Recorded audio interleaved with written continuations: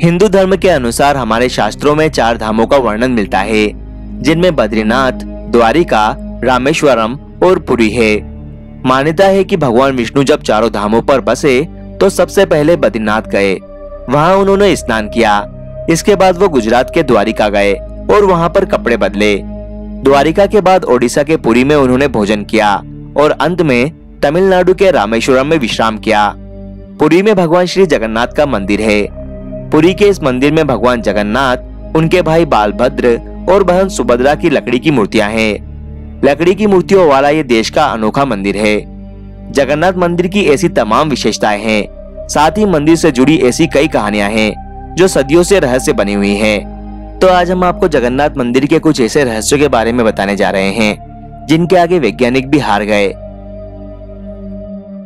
मंदिर से जुड़ी एक मान्यता है कि जब भगवान श्री कृष्ण ने अपनी देह त्याग की और उनका अंतिम संस्कार किया गया तो शरीर के एक हिस्से को छोड़कर उनकी पूरी देह पंचतत्व में विलीन हो गई। मान्यता है कि भगवान श्री कृष्ण का हृदय एक ज़िंदा इंसान की तरह धड़कता रहा। कहते हैं कि वो दिल आज भी सुरक्षित है और भगवान जगन्नाथ की लकड़ी की मूर्ति के अंदर है। जगन्नाथपुरी मंदिर की तीनों मूर्तियाँ हर बारह साल में बदली जाती है। पुरानी मूर्तियों की जगह नई मूर्तियाँ स्थापित कर दी जाती है। मूर्ति बदलने की ये प्रक्रिया भी काफ़ी रोचक होती है। जिस वक्त मूर्तियाँ बदली जाती है, उस वक्त पूरे शहर की बिजली काट दी जाती है। मंदिर के आसपास पूरी तरह से अंधेरा कर दिया जाता है। मंदिर के बाहर सीआरपीएफ की सुरक्षा तैनात कर दी जाती है। मंदिर में किसी की भी एंट्री पर सख्त पाबंदी होती है। सिर्फ़ उसी पुजारी को मंदिर के अंदर जाने की अनुमति होती है, जिन्हें मूर्तियाँ बदलनी होती है। इस बीच पुजारी की आँखों पर भी पट्टियाँ बाँध दी जाती है और हाथों में ग्लव्स पहनाए जाते हैं। इसके बाद मूर्तियाँ बदलने की प्रक्रिया शुरू होती है। पुरानी मूर्तियों की जगह नई मूर्तियाँ लगा दी जाती है, लेकिन एक चीज़ ऐसी होती है जो कभी भी नहीं बदली जाती है, और ये है ब्रह्म पदार्थ। ब्रह्म पदार्थ को पुरानी मूर्ति से निकालकर नई मूर्ति में डाल दिया जाता है।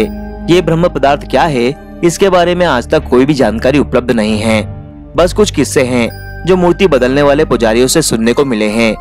ये ब्रह्म पदार्थ हर बारह साल में पुरानी मूर्ति से निकालकर नई मूर्ति में डाल दिया जाता है। लेकिन मूर्ति बदलने वाले पुजारी को भी नहीं पता होता कि आखिर वो क्या है। मान्यता है कि इस ब्रह्म पदार्थ को अगर किसी ने देख लिया तो उसकी मौत हो जाएगी। कहा यह भी जाता है कि अगर इस पदार्थ को किसी ने देख लिया तो सामने वाले के शरीर के चिथड़े उड़ जाएँगे। इस ब्रह्म पदार्थ को हमेशा श्री कृष्ण से जोड़कर देखा जाता है।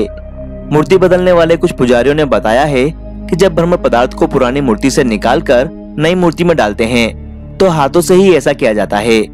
उस वक्त ऐसा लगता है, मानो हाथों में कुछ उछल रहा है, जैसे कि कोई खरगोश उछल रहा हो।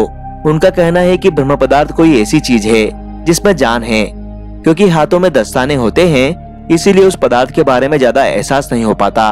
यानी कि ब्रह्म पदार्थ के जीवित पदार्थ होने की कहानियाँ ज़रूर है, लेकिन इसकी हकीकत क्या है, ये कोई नहीं जानता। सिंह द्वार का रहस्य।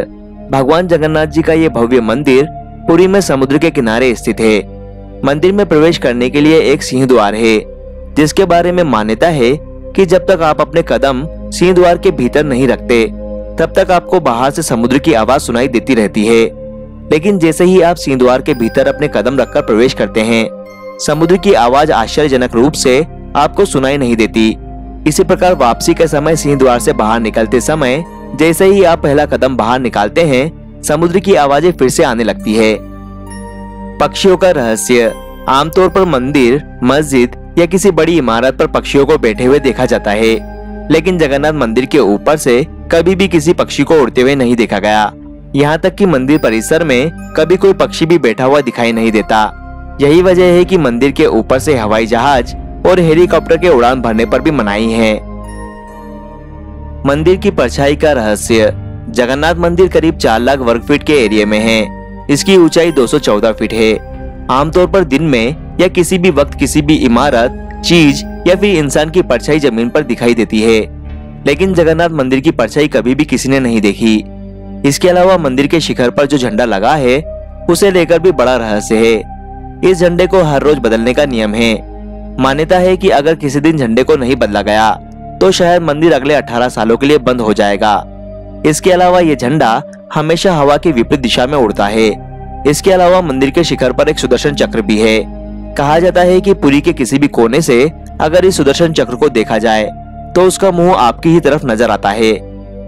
मंदिर की रसोई का रहस्य। कहा जाता है कि जगन्नाथ मंदिर में दुनिया की सबसे बड़ी रसोई है। इस रसोई में 500 रसोई और उनके 300 सहायक काम करते हैं।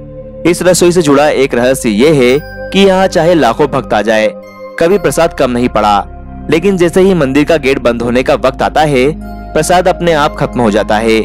यानी यहाँ प्रसाद कभी भी व्यर्थ नहीं होता। इसके अलावा मंदिर में जो प्रसाद बनता है, वो लकड़ी के एक चूल्हे पर बनाया जाता है। ये प्रसाद सात बर्तनों में बनाया जाता है। सातों बर्तनों को एक के ऊपर एक करके एक साथ रखा जाता है। यानी सातों बर्तन चूल्हे पर एक सीढ़ी की तरह रखे होते हैं। सबसे हैरानी की बात तो ये है कि जो बर्तन सबसे ऊपर, यानी कि सातवें नंबर पर होता है, उसमें सबसे पहले प्रसाद बनकर तैयार होता है। इसके बाद छठे, पांचवे, चौथे, तीसरे, दूसरे और सबसे आखिर में पहले, यानी कि सबसे नीचे के बर्तन में प्रसाद बनकर तैयार होता है।